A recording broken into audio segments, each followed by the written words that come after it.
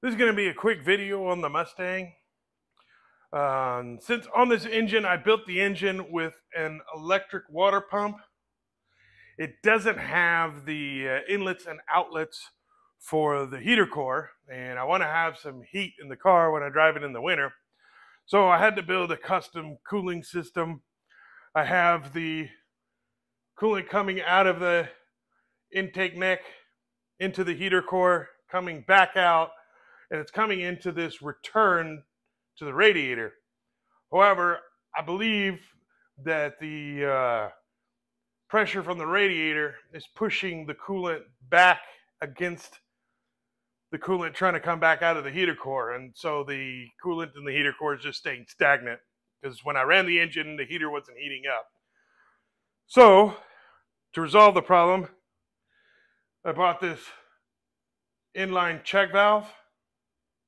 And so we're going to put this right here so that way we can uh, prevent the backflow of the coolant stagnating the uh, coolant in the in the uh, heater core. So first thing we need to do is uh, go ahead and take off this heater hose.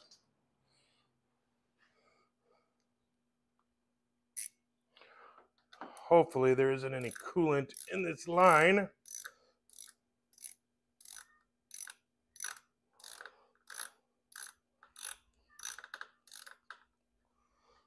Okay. Got our hose clamp off.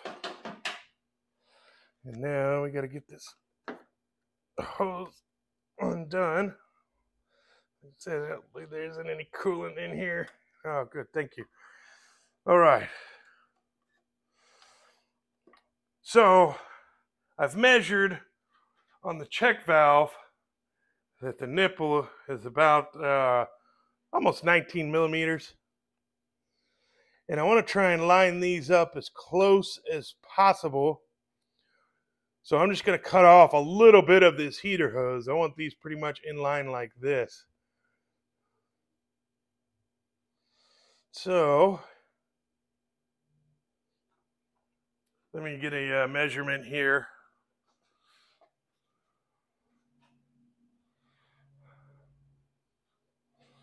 On the length of our neck of this on.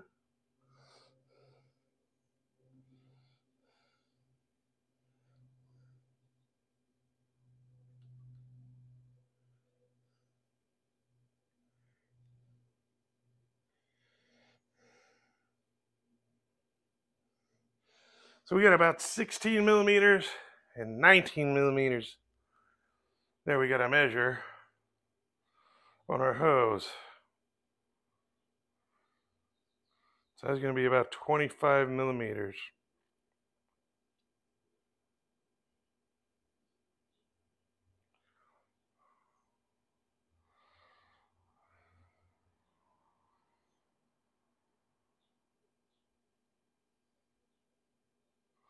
Well, that's about as close as I can get it.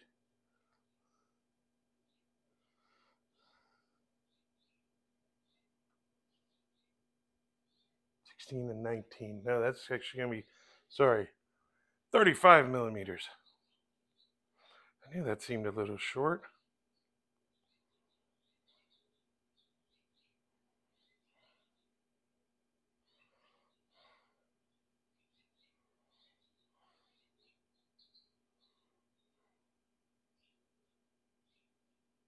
All right, there we go.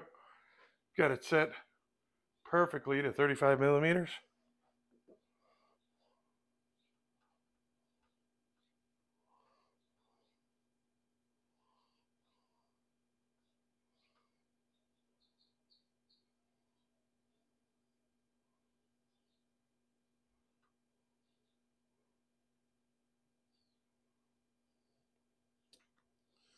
There we go. Got a mark on there. Grab something to cut this hose with.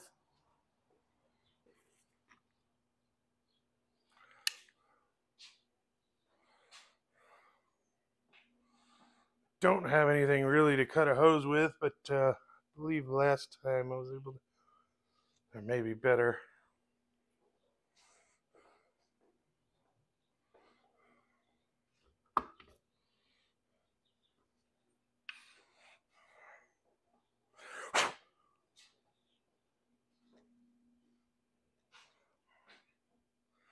This guy right here.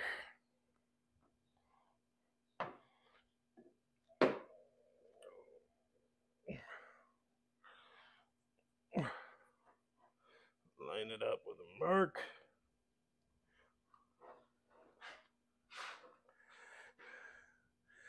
And make sure this is straight. And there we go. Cut right through it. okay. Now we can feed this onto here. And this onto here.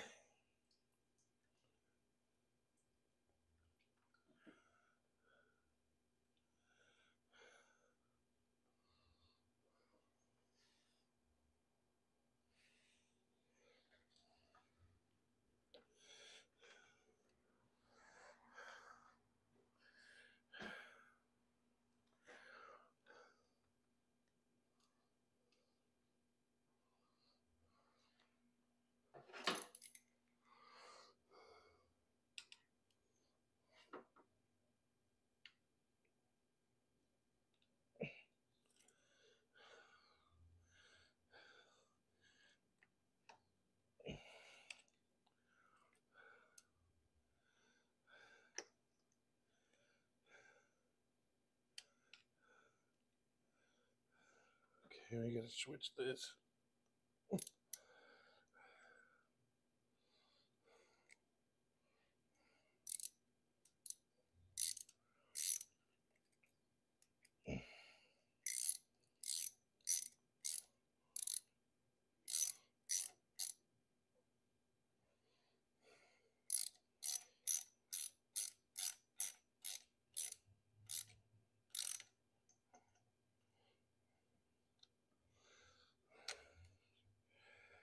Rotate this around a little bit.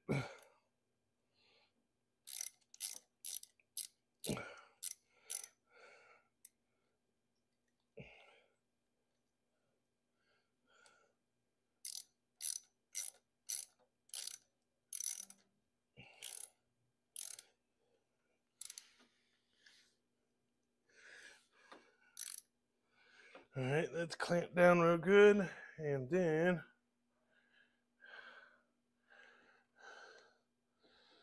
use this one.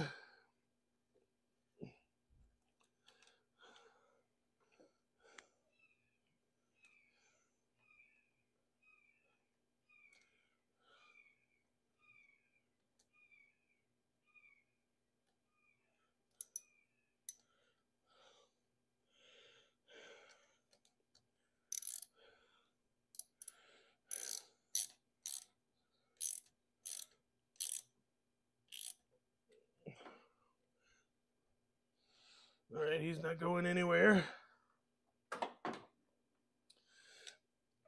This one will feed under there, and uh, give me a minute. Let me find another hose clamp. All right, got another hose clamp. Let's go ahead and get this guy tightened up.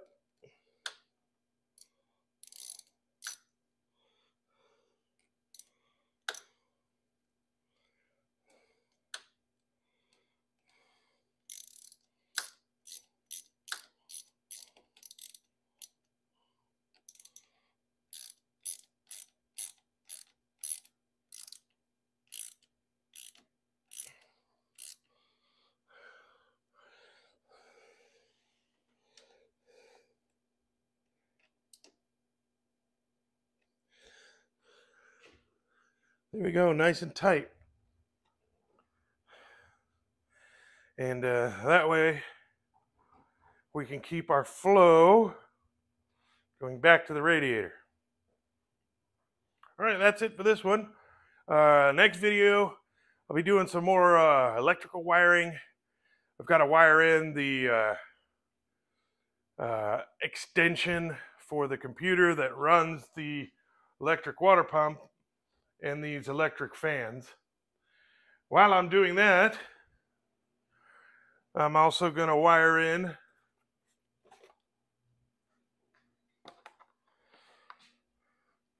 this MSD tach adapter. Since I have an MSD ignition, the uh, tachometer doesn't work. So I have to use this in order to get it to work. And uh, while we're under there, uh, I'm gonna wire in. Also, I found out the car has some uh, electric door lock actuators. So I found online a little remote kit to actuate those. So that way I can open my doors with a remote. So that'll be in the next video down the road. We'll see you then.